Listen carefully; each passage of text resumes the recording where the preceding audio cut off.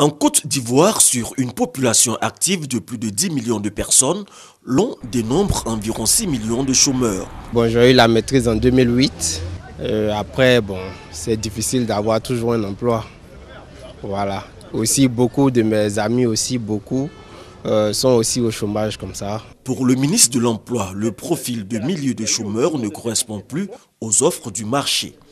Le secteur privé ne va pas demander de criminologues encore moins donc de sociologues. Donc c'est pour cela que nous disons, il est important que vous vous rapprochiez justement de nos différentes structures pour savoir exactement ce qui vous est proposé et quels sont les moyens pour euh, vous rendre employable.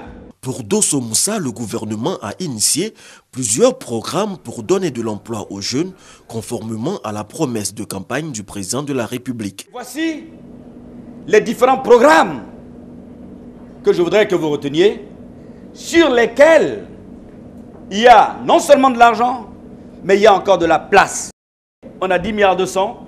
Ici, le programme TIMO, 539 millions. Le programme spécial de requalification, 713. Enfin, je voudrais bien que vous ayez en tête ces sommes.